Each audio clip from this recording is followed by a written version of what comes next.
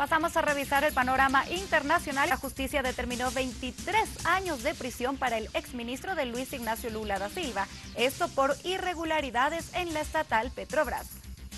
Tras el escándalo de la estatal Petrobras que implicó a varios políticos, la justicia federal de Brasil condenó a 23 años y 3 meses de prisión al exministro José Dirceu, quien fue presidente del Partido de los Trabajadores y uno de los hombres más influyentes durante el gobierno de Luis Ignacio Lula da Silva. La sentencia fue dictada en primera instancia por el juez Sergio Moro, responsable por la investigación de las irregularidades en la estatal Petrobras, quien lo halló culpable de corrupción pasiva y activa y lavado de dinero. Recordemos que Dirceu fue ministro de la presidencia de Luis Ignacio Lula da Silva entre el año 2003 y el año 2005, cargo en el que fue sucedido por la ahora mandataria suspendida de Brasil, Dilma Rousseff, tras ser obligado a renunciar en medio de un grave escándalo de sobornos parlamentarios, por lo que fue condenado a 10 años y 10 meses de prisión. La sentencia contra Dirceu es la más dura dictada hasta ahora en el marco de la investigación sobre la corrupción de Petrobras,